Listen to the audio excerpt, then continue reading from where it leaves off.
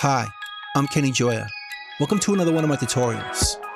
In this video, I'm going to show you how to create a MIDI continuous controller input filter in Reaper. I have a project in front of me here with a synth. And it's set up to be a pad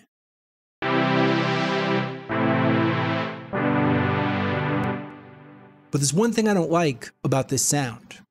If I put too much pressure on the keys, it adds a filter to the sound, which is being triggered by aftertouch or channel pressure. So if I push really hard,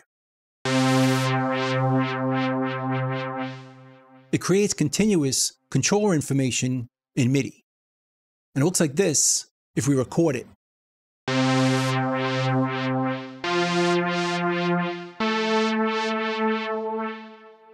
Now, if we like that effect, it's fine.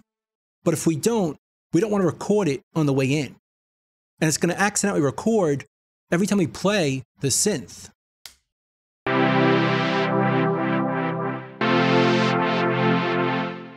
Now, I could always delete it afterwards, right over here, but it's still going to affect my performance. And it's a lot quicker to filter it on the way in. So I'm going to show you how to do that in this video. So the way to filter this is to add a plugin on the input effects. Right over here. And we could search down here, MIDI, and we could choose the plugin called MIDI Note Filter. Now this plugin is typically used to filter our notes on the low end or the high end, but it could also filter a continuous controller information, which is what aftertouch or channel pressure is. By default, it's not going to pass that information through. So if we record it,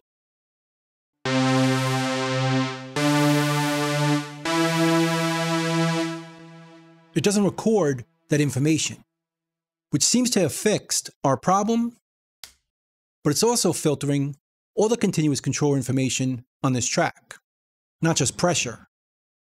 So if I set this to yes, it's going to pass it all through so we can record pitch bend, mod wheel, and channel pressure, and anything else we want to send.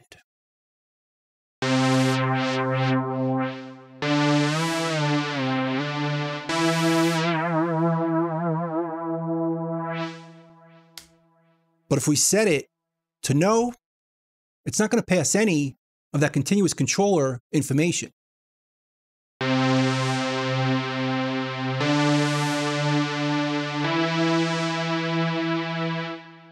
So if we want to record pitch or mod wheel, but not record the channel pressure, we can't do it with this plugin. But luckily, there is a plugin that'll let us do this, although it doesn't come with Reaper. Let's go to a web browser and let's type in Reaper Stash. We can go to this website right here and go to the search and type in MIDI filter. Then we could scroll down a bit and find the plugin MIDI Filter XL. Let's choose it, and then let's download it from here. Then we'll go back to Reaper and go to the Options menu and choose Show Reaper Resource Path. And that's going to open up this folder where the Reaper application is installed. Then we're going to find the effects folder open it up, then go to MIDI and open that up, and then go to our downloads, find the file we just downloaded, and drag it into this folder. And now it's installed in Reaper. So let's go back to Reaper, go to the input effects, and just in case, let's go down here and right click and choose Scan for new plugins.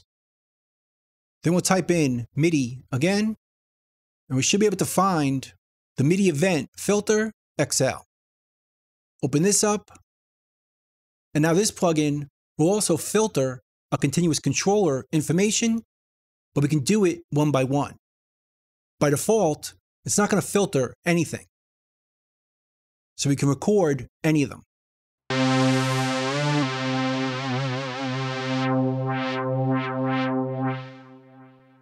But we can choose over here the MIDI channel for our filter. In this situation, we can just choose all and then choose the continuous controller we want to filter. We can just filter the pitch wheel right here. Now if we record, it's not going to record the pitch wheel, even if we move it, but it's still going to record the other continuous controllers.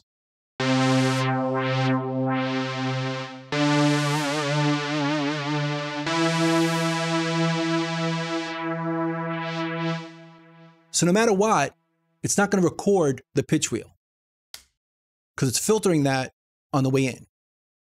Or we could turn this filter off and just filter out the channel aftertouch or the channel pressure.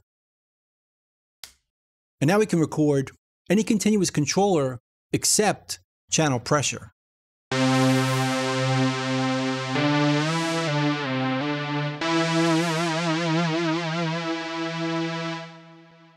We can do the same thing with the modulation wheel. We could turn back on the aftertouch by turning off the filter and choose a continuous controller over here. Now for this, we need to know the number of the continuous controller. The mod wheel is number one, so you could choose it right here. And now if we record, we can record pitch or aftertouch or anything else, but not the modulation wheel. It's going to filter out those events.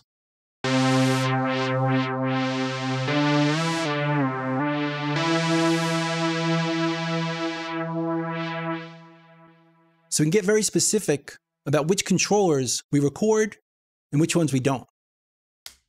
And we could do it all in this window, up to 28 of them, along with program change, channel aftertouch, polyphonic aftertouch, and our pitch wheel.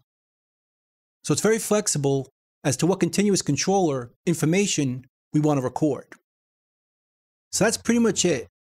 That's how to create a MIDI continuous controller input filter in Reaper.